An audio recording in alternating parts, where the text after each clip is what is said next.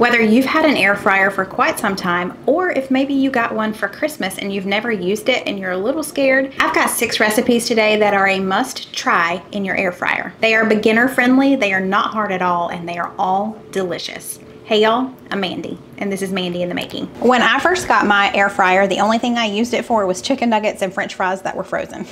I didn't quite grasp what an air fryer is. It's basically a mini convection oven. So it cooks things in less time and it's constantly moving that air around in there. Once I started trusting my air fryer to actually cook food, like raw food, and cook it completely, it opened up a whole new world of possibilities. One thing we have not made in the air fryer yet are turkey burgers. So we're gonna try some turkey burgers in the air fryer today. We're gonna add a little bit of red onion to our turkey burgers. So let me, is that bad? I don't think it's bad. We're about to find out. Let me chi, chice. I'm gonna chice this up. I was gonna say chop, and then I was gonna say dice. And here we are, we're gonna chice it. New word, I'm claiming it, trademarked. I think this is probably gonna be enough. But we want to really finely dice it, or chice it, excuse me. Get it right, Mandy. If you've never made turkey burgers before or cooked with ground turkey, you just have to keep in mind it does not have a, a, bunch of flavor on its own. You do need to add seasonings and other flavor components or else it'll be quite bland. And that's pretty much all we have to do. Now we just mix everything together. While we mix everything together, I am going to turn, why is this shaking? It must be sitting on the cord. Hold please.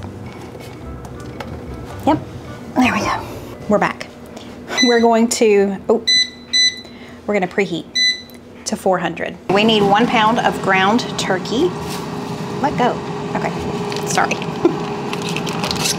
I'm gonna be using some gloves to mix this because yuck. Let's throw in our diced, chiced red onion. We need a third a cup of some type of sauce. So I'm using this barbecue sauce. You could use chili sauce. Any type of barbecue sauce will be fine. We need a fourth a cup of breadcrumbs. This is the Italian style because that's just what I have on hand. Uh, you can just do plain breadcrumbs, not panko though. I'm gonna be using this everything but the elote. Is that how you say that? I'm gonna be using this seasoning. You could use some seasoned salt, about a half a teaspoon. And I'm gonna throw in about a half a teaspoon of garlic powder. Now we just need to mix this together, so. Okay, before we form our patties, this has preheated, it is good to go. I'm gonna spritz it with some oil so it won't stick. So you could definitely get four patties out of this, but since there's just three of us, I'm gonna form three. These things are awful. They're so big, they're hard to work with. I have some latex gloves, but don't know where they're at. So there's that. This is, this is fun, friends. This is real fun.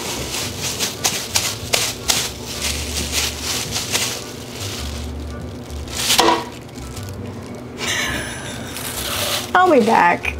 Spared you, but there we go. We have three of them. They're going into the air fryer. These are gonna cook at 400 for about 10 minutes. You can flip them half the way through, but you don't have to. Okay, this just finished. We need to check, ooh, now those are pretty.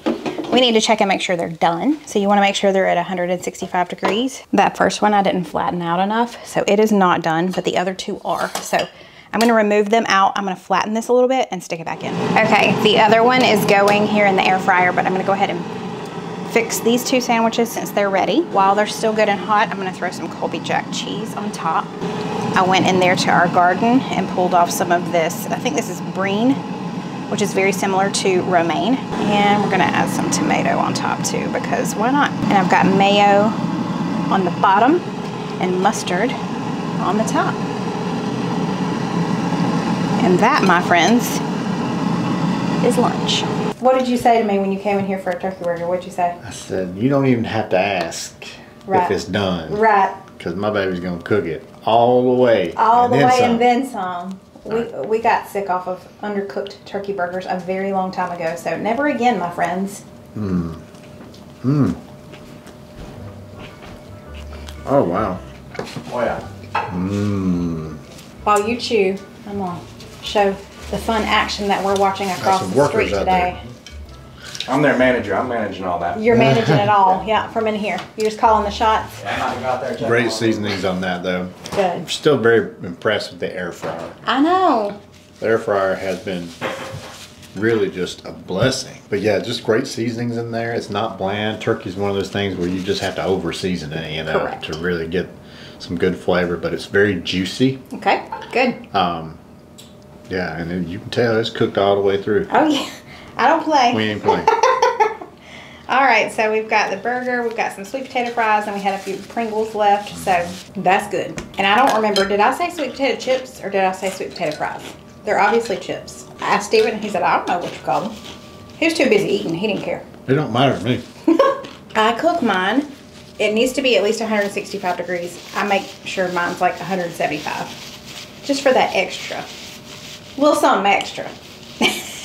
Another recipe, I really should call these beginner friendly air fryer recipes because I've chosen some really easy ones for this video. If you've been around for a while, you know our favorite way to make green beans is on the stovetop with some bacon, a little brown sugar. However, sometimes I'm in a hurry and one of the easier ways to make green beans is in the air fryer. You can still use canned green beans. They're gonna come out, they're gonna look kind of wrinkly and not very pretty, but you can do it. But preferably you will use frozen whole green beans or fresh green beans. If it's in season, you definitely could do fresh. First things first, we need to preheat our air fryer.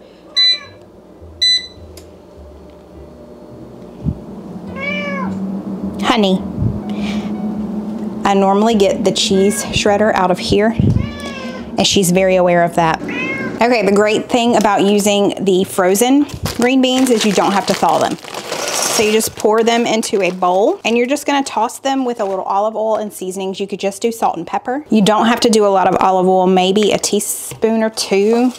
I probably did around a teaspoon, I mean two teaspoons. And then you could just salt and pepper it. I'm gonna be using this. We haven't used this very much, but a sweet subscriber sent it to us. It's called the It's Incredible seasoning. And I always forget about having it, but we're gonna use this one today. Our air fryer is ready to go. So let's head over there and spray the bottom with a little bit of oil. Just so nothing sticks. Dump these in. Oh, you hear that sizzle? Get them in an even layer. And these are going in at 400 for about 10 minutes. Okay, it's been about five minutes. We are gonna take these green beans out and toss them. And after we toss them, we'll just stick them back in for the five minutes. And because I'm extra these last couple of minutes, I'm gonna toss our green beans in some grated Parmesan cheese. This is totally optional. You don't have to do this, but I'm gonna throw it in there and just toss them around just for these last two minutes. All right, our green beans are done. Look how crispy they are. They look so good. As to not confuse everyone, I just plated this up separately so that you don't wonder what in the world we're eating. You'll see that on Friday. What in the world are we eating? We're gonna eat these green beans. That's good. Give me a bite. Usually we make green beans. We get them out of the can, we put them in there, and we cook them for a long time in sugar and Bacon. bacon, fat. Mm. but this is a little different. Just a fresher, Yeah. Healthier way Yeah. to do green beans. It's really, really, really good. Yeah. For you know, all things considered, how they're cooked. Yeah. Um, you get more of the green bean flavor itself, probably the more, more truest green Yes. bean flavor. But then the seasonings around it are really good as well. Great. Salty. Mm Um, got some of that pepper in there, and then the garlic flavor that's in there. It's really good. Mhm. Now I'm going to be starting on some Mexican corn on the cob. This is very simple. We've never had corn on the cob in the air fryer, so I'm excited to try it because I heard great things about it. And special bonus, like super special bonus, I have a sous chef who said, I want to make this and I'll be on camera. I'm prepared. He's prepared. Okay, the first thing we're gonna do is preheat our air fryer. So you're gonna go over here to preheat and 400 is fine, five minutes is fine. Go ahead and hit the start button. Yep. Okay, so our basket has been heated up. Now Cole's got our corn and he's just gonna spray it with some oil first before we put it in there. Okay, that's good. These are gonna go in at 400 for 14 minutes and we will kind of turn them at the halfway point. Okay, so he's just gonna turn these over. Good. And they're gonna go in for seven more minutes. While our air fryer corn is still going, we're going to kind of combine some things for the butter that's gonna go over top. So we need three tablespoons of butter. I like having a sous chef. Mm. We need this garlic, a couple of teaspoons of garlic, so just pour that in there. Here's a spoon. There we go. Did it come out? Okay. We need about a teaspoon of lemon zest, not lemon zest, lime zest. And so he's gonna do that for us. Okay, and we also need about a tablespoon of lime juice. So he's gonna cut this in half and I'm gonna grab the juicer and he will add some lime juice into here. And this is gonna go in the microwave for like 30 seconds or so. We just want to get everything melted, obviously, and we want our um, garlic to be nice and fragrant. This needs to be washed. It does a good job though. okay, I wish y'all could smell this. Oh, our corn's done perfection. You want a little bit of char on there. Look at that. Yes. Cole is just gonna brush our butter on all over it. Okay, and Cole does not like cilantro, so we're just gonna put a little cilantro on mine and Steven's. But this is gonna be so good with our meatloaf tonight. Oh my word. One last thing we're gonna do to just give it a little more smoky flavor is put the seafood seasoning on there. It's got some paprika in there. It's got all kinds of good stuff. So we're just gonna sprinkle this on top. Wow. Man, that's amazing. Air fryer corn, what you think? Man, yeah. Oh man, the lime. Yeah. Oh, that's definitely coming through. Then you've got the garlic and the butter in there. A little bit of the spices, the Mm-hmm. smoky flavor. But Yeah. wow, the lime and butter with the corn. Incredible. Okay, well I'm excited. Gosh, it looks, it smells so good in here, y'all. Best corn on the cob I've ever mm. had. Hands down. Okay, it is lunchtime now, and for a quick and easy lunch, I'm gonna be making little mini pizzas in the air fryer. So your toppings are totally personal. So I'm doing the mini pepperonis since these are mini pizzas. And we're just gonna do a little bit of this sausage as well. Maybe, maybe half of this pound of sausage. I'm gonna go ahead and brown that up on the stove. I'm gonna be using this pizza crust. If you can't find pizza crust, and I think I've heard too that they have mini pizza crusts now by Pillsbury, I'm not sure. But if you can't find that, you could always just roll out biscuit dough. It may just take a little bit longer to cook. And let's just see how many mini pizzas we can get out of this one crust. We're just gonna make these a little extra large. Okay, we're gonna go with six. Very uneven pizzas. this is how you know Mandy's been here.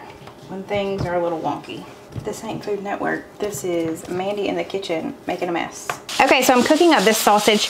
It was mild sausage. That's all my grocery store had. So I did add just a little bit of Italian seasoning and I also added some black pepper just to give it a little more flavor. Honestly, I wanted hot sausage for today, but they didn't have anything but mild. That's what I had to go with. This is almost done cooking and then I'm just gonna drain it and we will assemble our pizzas. Okay, so we have cooked our sausage. Now let's go in with some marinara sauce. If you have pizza sauce, that works too. I didn't have any. We're gonna go with a larger one first, which is probably gonna be hard to maneuver now that I think about it. Yeah, so I'm doing the trial and error for you. This may be an epic fail on these larger ones.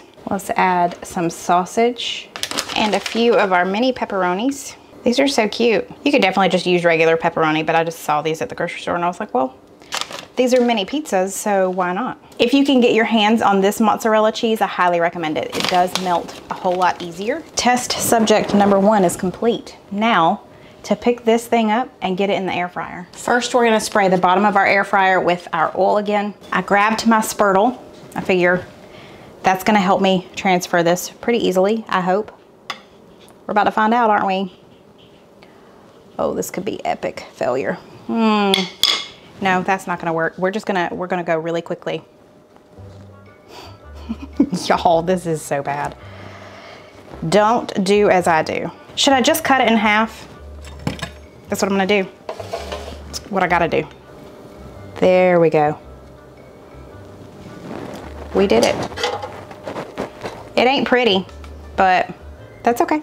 So this is a learning curve. Oh, you don't, you're not even seeing it. I'm sorry. Let me show it to you.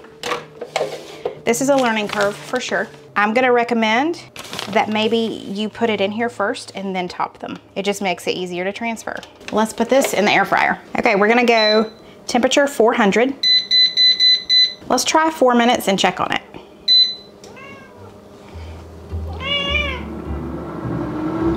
I have nothing in my hands. Nothing, ma'am.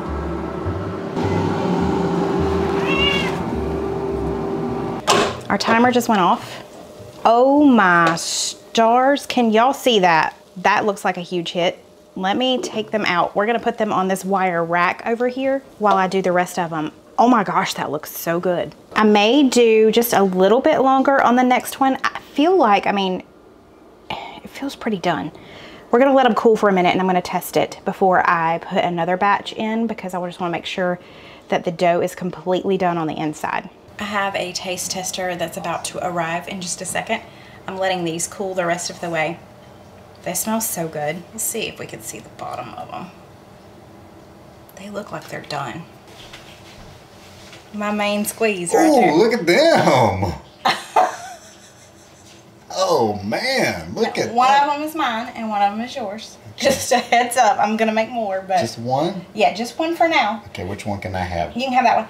We gotta make sure that the crust is done enough. So It's, it's a little soft. It is a little soft, A little soft. but it's not like it's supposed to be super hard. I don't think so. That is really, really, really good. The crust is done. It's not doughy. It's not super hard. Like I'm looking in here right now. It's not doughy. It's not cooked doughy at all. through. It is cooked. Yeah. It's not super hard crust like a normal pizza would Right. be. What sauce is that? Rao's. ah. Rao's. Rao's, man. There, man. Oh, I done dropped it. I done dropped this sauce, did you? 10 second rule. Steven, no you didn't. How you gonna say 10 seconds? It's five seconds. Is it the three second rule, five second rule, or is it 10 second rule like he says? With me, you just never know. Come in here tomorrow morning. Look what's on the floor. Steven, he does kidding. not do Gosh. You can't do nothing with me. No, you can't. All right, I'm gonna go make the rest of them. Steven just had a really great idea. We're gonna put the crust in there for about a minute, and then we're gonna open it up and put all the toppings on and see if that will help it firm up on the bottom a little bit more. Okay, now that our pizza crusts have been in for about a minute, it makes them a little more manageable, and you can remove them and top them and then put them back in. It's going back in at 400 for four minutes. You could definitely just reach into the air fryer base with them still in the air fryer, but you've got to do that very, very carefully so that you don't burn yourself on the side of the air fryer. Your air fryer is very hot, so you don't want to possibly burn yourself. So the safer option and the recommended option would be to remove it like I've done now, top it, and then place it back in there. Moment of truth. First of all, they smell divine. They look divine. Let's see if the bottoms are just a little more done this time. Ooh. Mhm. Do you hear Steven in there? Where's mine? It's a little crispier, Oh, ain't it? firmed it up a little bit there. Oh boy. Oh, It's hot. what's hard to believe is you just made a really good pizza. And that thing. In the air fryer. My gosh. I know. Who would have thunk it? Who'd have thunk it? Okay, y'all, I've got all of our spices out. I'm going to start with some cayenne pepper. You could always leave this out if you are not into, you know, the hot stuff. But I'm to use about a half a tablespoon of cayenne. We're to do a tablespoon of paprika, which is pretty much all I have left. I need to write that on the grocery list. Where's, there we go. I need a tablespoon of chili powder two tablespoons of garlic powder, half a tablespoon of black pepper, or you could always use some more if you really like yours peppery. Now we need two tablespoons of salt, three fourths a cup of brown sugar, and then lastly we're gonna add in about a tablespoon of garlic salt. And the recipe says that you could also add in a teaspoon of cinnamon. I, ha I have not done that. That just sounds weird to me. You'll have to let me know if you have done that before. So it does have a good bit of the spices in there, but it has a lot of brown sugar to help calm it down so it's not just hot. It's like sweet and spicy. We really love these. Okay, so I've got my wings here. I did pat them dry I'm going to take about half of my spices and pour it into a large Ziploc bag. All right, now I'm going to, it says to spray them with olive oil, but I used this last time and it was just fine. Okay, I'm gonna put about half of them in here and we're gonna coat them really well. And I need to go ahead and preheat my air fryer to 400. I need to let it like warm up for five minutes.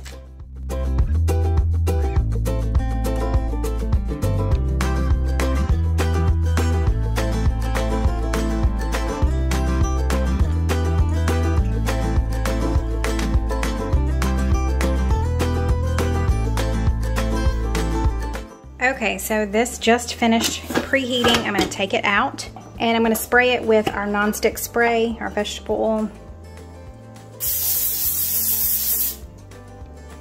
And let's put our wings in.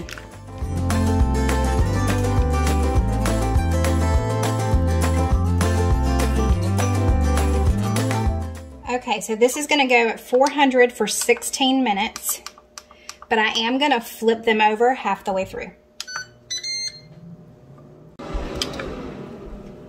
Okay, so it's been about half the time. I wish y'all could smell these. I'm gonna turn them over.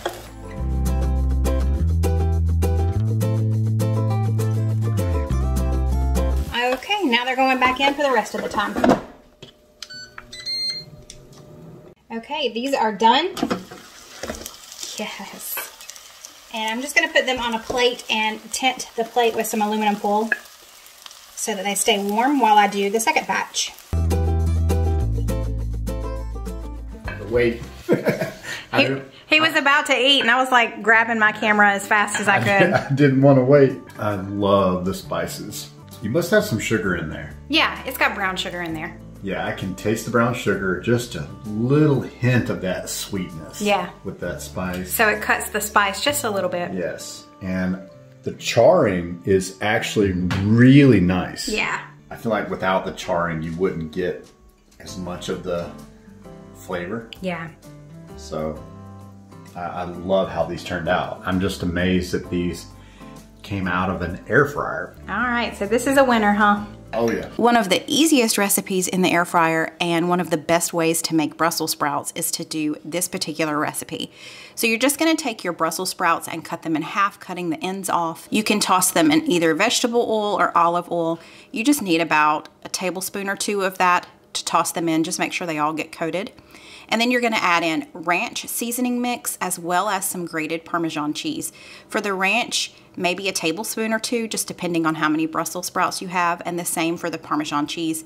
Toss that all together. Once everything is good and coated, add just a little bit of salt and pepper and toss it again. There is no need to preheat your air fryer this time, and because they're coated so well in the oil, you don't really have to spray the bottom either. So just put them in your air fryer basket, try to get them in an even layer if possible, and you're gonna cook these at 350 for about 12 minutes. You do want to toss them at about halfway through, but these turn out so good. They are super crispy and some of the edges get really brown, which is honestly the best part to me. but I hope you enjoyed this simple Brussels sprouts recipe. So tell me in the comments below, what is your favorite way to use your air fryer? What was the very first thing you tried in your air fryer other than chicken nuggets and french fries like me? And if you have a favorite air fryer recipe, you can always share that in the comments. So go, even if you're not leaving a comment, go check out the comments and see what others are saying. If you haven't done so already, I would really love for you to subscribe to the channel. It's free to do so, and that just allows YouTube to know, hey, I want to see the content that Mandy is putting out and it will always refresh in your subscription feed so you don't miss a video. Thank you so much for being here. Bye y'all.